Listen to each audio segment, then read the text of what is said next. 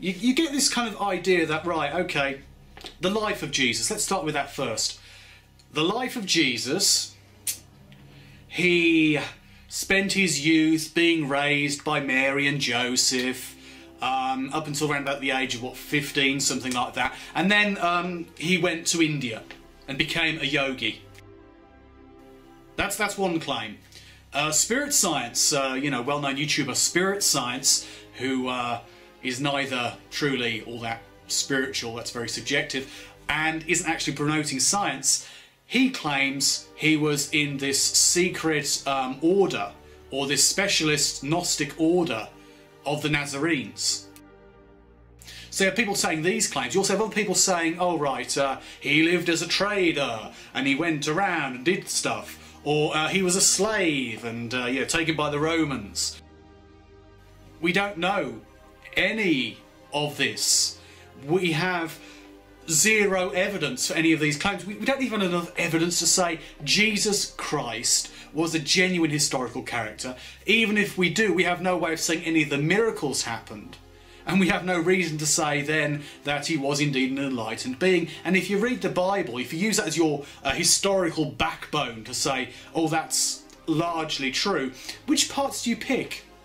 I mean, this is the problem with moderates. They'll, they'll, they'll, nitpick, they'll cherry pick. Oh, we like that quote. Yeah, that's a good quote right there. We'll take that one. But with New Age, it's far worse because we're going to take that one, we're going to take that one. We're going to rethink that one. And you know what? My spirit guides are telling me that he was uh, he was actually okay with the gays as well. So yeah, he was a very nice liberal guy. And Oh yeah, yeah, he was a he was a socialist. He was this, he was that, and it's just bullshit. People cherry pick what they want based on their own worldview, with New Age is far worse, especially, and I'm getting to my point, the idea of channelers and reincarnations of Jesus. How many New Age Jesuses are there around the world? Well, I could name three that are worth noting. Then I think, and I could name two more who are kind of fucking nutcases. And then I think again, and I could name more than that. So yeah, you have people like AJ Miller in Australia. What does he bring forward? New age ideas that have been around for years. Any higher information, anything new, anything interesting? Um, in answer to your question, um, most of us have injuries with the feminine or the masculine or both. Not really. Does he get a lot, a lot of following? Does he convert people? Yeah. He's buying up land and setting up his own like compound practically. But yeah, a fraud, essentially. I mean, you know, sue me if you wish. Prove you're Jesus and I will accept you. And it's like, oh, well, I don't have to prove myself because uh, uh, that, sound, that sounded a bit more like Ray Comfort. The banana and the hand are perfectly made one for the other. But um, yeah, I, I, don't have to prove myself because uh, I it says in the book that uh, you know he doesn't have to prove himself, and I shouldn't do miracles because you know you'll end up with uh, you know fakers doing that, and you know false prophets who will use these tricks to try and convert people. And you have um, a gal called oh, what's the fucking name? She used to call herself Maitreya Miranda. Her name's Miranda something or other, and she calls herself something else now. She claims to be the feminine Christ, a reincarnation and awakening the Christ in feminine form.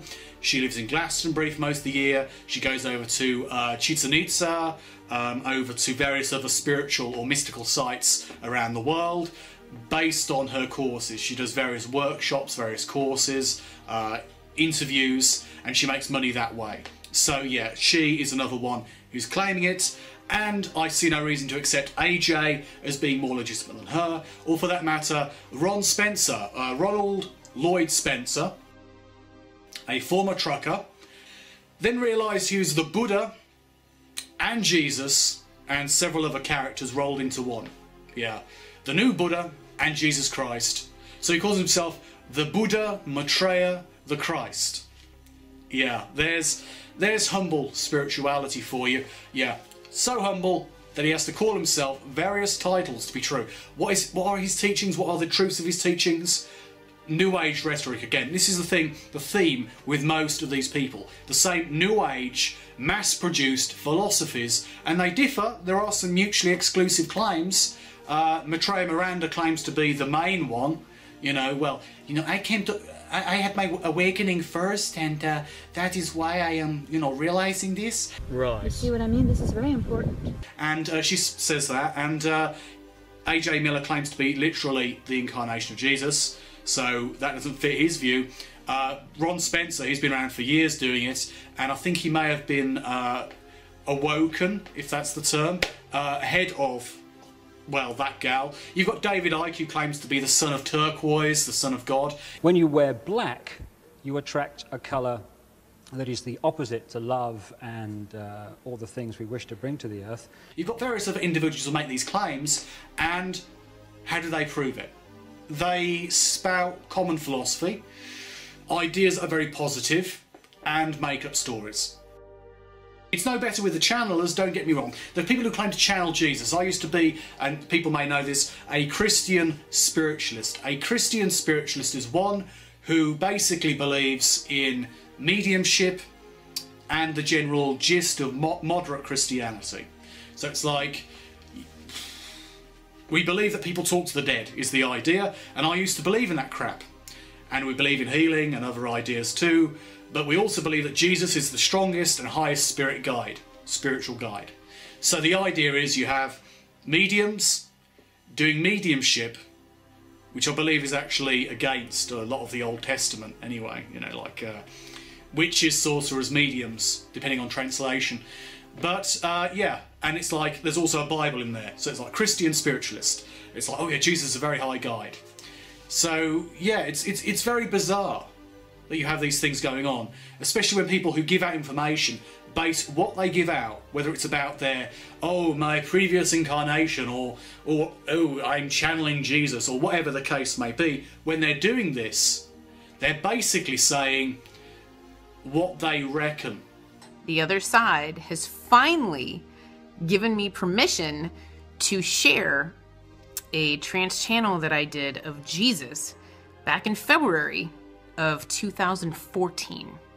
based on their own limited philosophical views, their own limited ideas. They've got nothing new, nothing that can confirm itself. They don't confirm the validity of their claims, they just simply assert them. So, yeah, uh, this is true. And why? Well, um, stuff, things.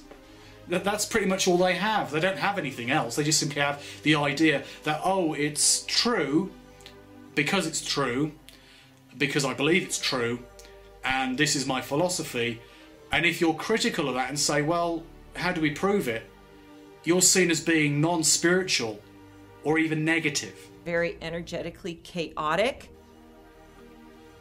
How can you even criticize such people from inside a group? How can you say, well, that person is that? I mean, if you brought them together, a massive conference of, say, hundreds of claimants of being Christ around the world or being able to channel Christ, and you actually got their opinions, and then you know you or someone goes up on stage and says, "Well, you sir, you say that such and such is the case," whereas doodah doodah doodah doodah doodah they say it isn't. However, this person says that this is the case, whereas you, as well as these other people, say it isn't. Who is the true Jesus, my friends?